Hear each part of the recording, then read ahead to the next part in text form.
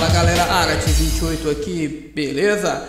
Atendendo a pedidos aí, vamos para um vídeo muito requisitado aí pela galera, Arcanjo versus Magia. Lembrando que essa magia aqui é aquela brava, Ato 5, capítulo 2, muitos players tá uh, tendo dor de cabeça com ela, porque não é fácil de passar, ela tem uma regeneração aqui uh, de 10% aí de life a cada bônus uh, que o seu oponente aí, melhor que o seu campeão uh, ativa contra ela, mas tá aí uma boa solução, Arcanjo, beleza?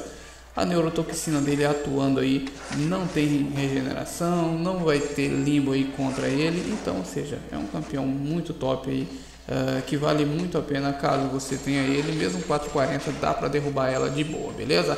Então esse vídeo foi atendendo a pedidos, lembrando que esse vídeo aí foi feito por um amigo que em breve também vai estar aí com uma parceria conosco, fazendo vídeo e trazendo novidades para o canal, beleza? Então se você não é inscrito, não deixe de se inscrever para estar aí acompanhando as novidades do Marvel Torneio de Campeões e até o próximo vídeo, valeu? Tchau, tchau!